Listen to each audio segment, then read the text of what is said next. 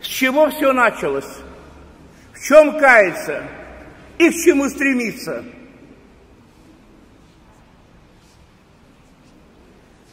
Бог сотворил дивный мир, удивительное творение, такую красоту, космос, животный мир, растительный мир.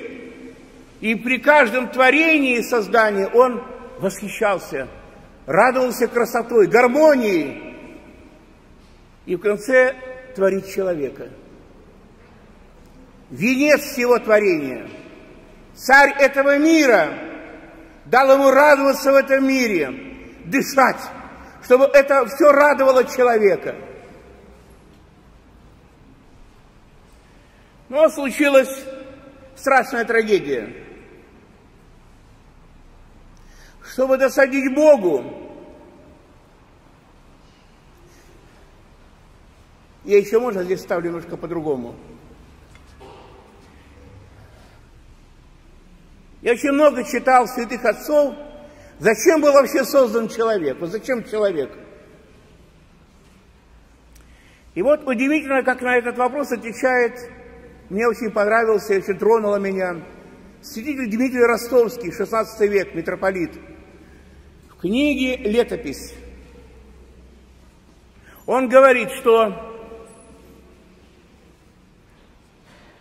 он дьяволу говорит, ты был дух, ты зрел меня, ты ни в чем не нуждался, и ты решил творение, что ты творец, и твое падение – это ад – так вот, в противоположность тебе я создам человека из земли. То есть вот на самом казалось бы, из ничего, из всего презренного. Из земли создам человека. Он будет болеть, стареть, умирать, но он будет славить меня. И вот во славу Божию создается человек. Бог дает ему свой образ – вот смотришь на этого человека и чувствуешь Бога. И дает возможность ему подобие, то есть человек нравственно растет постоянно. Почему святые отцы говорили, что смысл человеческой жизни – это богоподобие?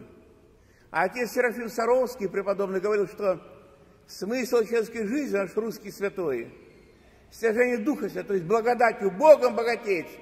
Все остальное это мираж, уходящий.